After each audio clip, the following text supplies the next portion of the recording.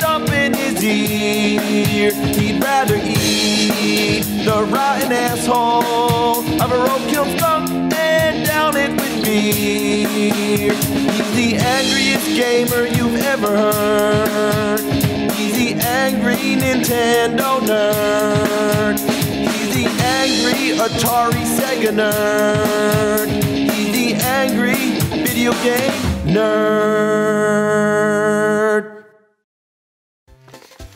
Yeah, when you were a kid in the 80s and especially the 90s, it was all about running out to the mailbox to find that new issue of that video game magazine, because there was tons of them. They were filled with awesome stuff, previews for upcoming games, new consoles, walkthroughs, codes, and reviews. In the past, I talked about Nintendo Power, so it's about time I talk about the others. Some were about the brands and the consoles like Atari Age, but others were more generic like GamePro and Electronic Gaming Monthly. And even into the millennium, we had retro throwback magazines like Video Game Collector. Look at that guy. What a nerd. In today's age, you can look up anything about games you want on the internet. Walkthroughs, cheats, reviews, previews, whatever. Back in the day, if you wanted to know if a game sucked or how to find a secret or get an infinite lives code, you had to wait for one of these to come out monthly. Well, let's start with the oldest magazine I have, Atari Age. They came free with a subscription to the Atari Club. They were pretty short reads too, only about 15 pages each, and they were all printed in Center City, Philadelphia. They didn't give much insight on if the game sucked. They were mainly filled with fluff pieces about new games to buy and some articles. But then again, this was Atari's official magazine, so what do you expect? I mean, Nintendo Power did the same thing. Remember it said Back to the Future had that distinct LJN style? The first issue of Atari Age has an awful interview with none other than Pac Man, filled with awful Pac puns. Pac Man says, I had what you'd call a well rounded education. boy. I was involved in high school dramatics. I played the lead in Central High's production of Man a la Muncher. Huh. I did more acting in college, mostly theater in the round productions. Oh, come on! Oh, I love this issue right here. E.T. on the cover. Might as well just had a sign that says the end is near. Atari Age also had some cool do-it-yourself type articles teaching you how to fix joysticks and even how to make your own left-handed joystick. Overall, a fun magazine to pass the time or read on the shitter. Later, with the rise of Nintendo and Sega, more magazines began popping up.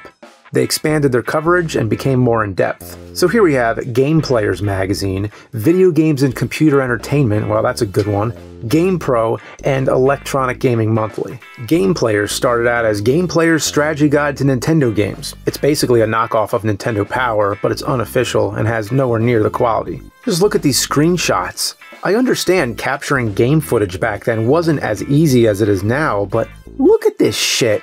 Looks like they took the picture with a Polaroid, then photocopied it 50 times. And the covers are usually just the box art from whatever game they're covering. Sometimes they're all over the place.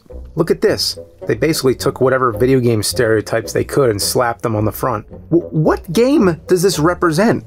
Okay, this guy, he looks like Rad Spencer from Bionic Commando, mixed with Matthew McConaughey. Why is there a kid doing a hand plant on his shoulder? The skater kid looks just as confused as I do. Okay, this might be the worst cover I've ever seen. Super Mario 3. Apparently, I can't even tell what I'm looking at. What is that thing? What is that thing? It looks like a mangled Easter egg or something. Holy shit. I mean, they, they, they didn't even try. You have what looks like Wario in the corner, and someone must have sneezed all over the print. The only thing that could possibly indicate that this is a Mario cover are the words. Imagine if you couldn't read. You wouldn't have any idea what this was supposed to be you, you wouldn't even know what it is. I mean, you'd just be sitting there trying to figure out what this puked out pastel piss picture is. One thing that really twists my asshole is the sheer number of ads. The same 1-900 number shows up three times in the same issue. Look at this face. Yeah, laugh it up while you can, kid. Your dad's gonna flip shit when he sees a $500 fucking phone bill! I swear, every other page is an ad. Look, ad, Ad. Ad. Ad. Ad. Ad.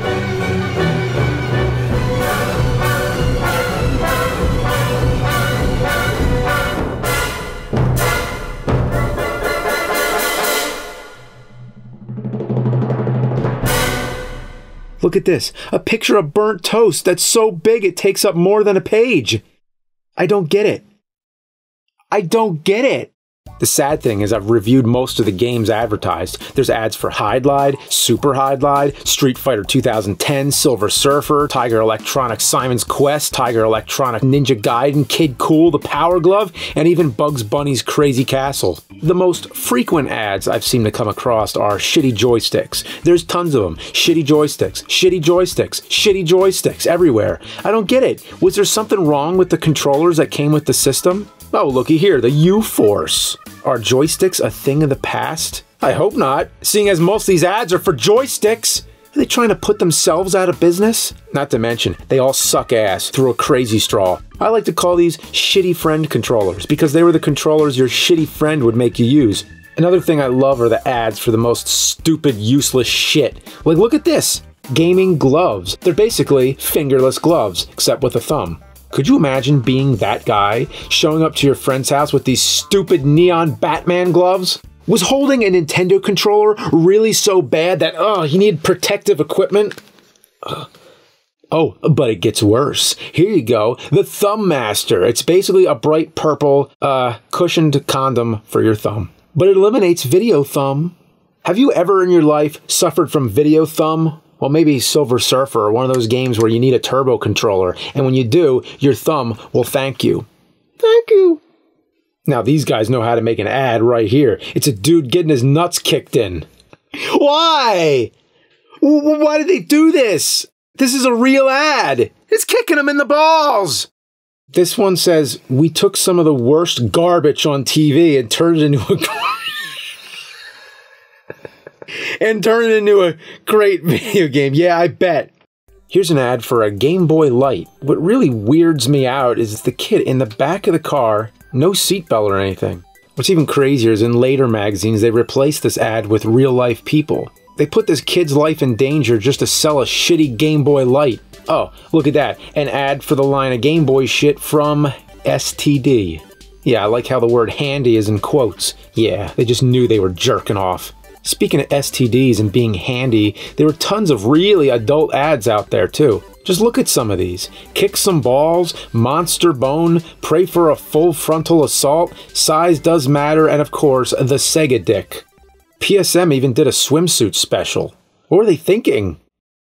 The articles range from interesting and useful to downright idiotic. One of the best features was the walkthroughs. Like right here, they hand drew all the levels from Super Mario Land on Game Boy. That's pretty cool. And here's a walkthrough of Robocop 2 on NES.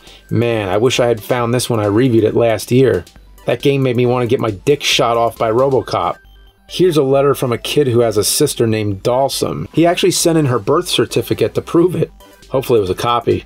Here, they talk about the Home Alone games and even promote the upcoming movie sequel and the Home Alone phenomenon. Yeah, such a phenomenon. You know that that guy right there? He turned out to be a pizza boy. The reviews are always a major part of these magazines. They gave kids the insight on which games were worth their money and which ones they should avoid like the fucking plague. But sometimes these recommendations are really off the mark. Like right here, Contra 3, a game revered as a classic, one of the best side scrolling shooters on the Super Nintendo, and they gave it sevens. Then look at this shit Terminator 2 on the NES, a game that's total shit, and it's got an 8, a 9, a 7, and another 8. Are you kidding me? Terminator 2 on NES has better scores than Contra 3? Yeah, I mean, that, that's like saying I, I, tasted a shit flavored ice cream. I gave it uh, a 10 out of 10. It was good. Trust me. That's not the only shit thought highly of. Here's Double Dragon 3. Its fun factor has a perfect score. No way. No way. They included the Bimmy and Jimmy screenshot. Well, at least the caption has the correct name. Believe it or not, there existed a magazine for the Amiga CD 32. The crazy thing is that the magazine kept coming out long after they stopped making the system. And look at this, they gave Gloom a 92 out of 100? Thankfully, my CD32 is safely burning in hell where it belongs. Man, the memories. It's fun to read these knowing how the technology evolved. They covered the breakthrough of laser discs, virtual reality, and all the new types of controllers. Here's the shitty Sega activator. Damn, this guy could give Keith Apicary a run for his money. A lot of these magazines came with technology, some being bundled with diskettes and demo CDs. For the April issues, GamePro would have a parody section, Lame Pro. This was fun to read. I love Bubonic the Blowfrog and his pal Snails. Yeah, it was stupid, but back then, it was just cool to see people in the gaming industry making fun of games. Here's a piece about the Ultimate Gamer. This guy's no joke. He makes my Nintendo suit look like a cheap Halloween costume. Here's the top four hot video game babes, and for the ladies, the top four hot video game hunks. The artwork was always great. Well, not always, but sometimes. Oh, and in this picture, this kid's holding a ninja star and whipping out a yo-yo right as he's about to be brutally murdered by a skeleton. Oh, and then check out this picture of Godzilla and kinda King Kong. And they're both really shiny for some reason. This picture, I don't know what is going on. It's just hideous. When it came to drawing Link, for some reason they always had a problem. Here he is on the cover of Nintendo Strategies, at least I think it's him. Oh, and this Link looks more like a villain than a hero. He's pretty scary. Zelda's just over there chilling with Aghanim. She doesn't even look like she wants to be saved. Yeah, she's probably horrified by Link's demon spawn face. This one's not so bad, but Link looks really pissed. And this one here, it's like Tim Allen playing Link. Uh? Here's some fan art. Some of it is really amazing, but some of it, as you can see, it's shit. And I know that's not nice because it's probably some young kid who drew it, but the kid's grown up now, so he can handle it's shit. Just flipping through these magazines is like opening up a time capsule. You just can't go wrong. So, let's end with a top five. It's the Nerd's Top 5 Most 90s Moments in Gaming Magazines. Number 5 crime wave. Look at this scene. I mean, look at this. Okay, you have this guy screaming, and then you have this guy with these cool shades, and then this girl who looks like she's fallen asleep or something. Is this Dan from Street Fighter Alpha? There's this guy with a backwards hat wearing pajamas carrying a fucking gun, and then on the ground, there's all this money and guns and bullets and cocaine. Yeah, in the text, they're talking about drugs. It's cocaine in a gaming magazine. Number four, this gang right here. You got this badass biker granny, this bow tie wearing nerd, this cool gamer kid, this punk ass mohawk motherfucker, and then this Valley Girl sitcom star, and then a bulldog with the same sunglasses as the kid, and it's all for a Pictionary game. Yeah, Pictionary.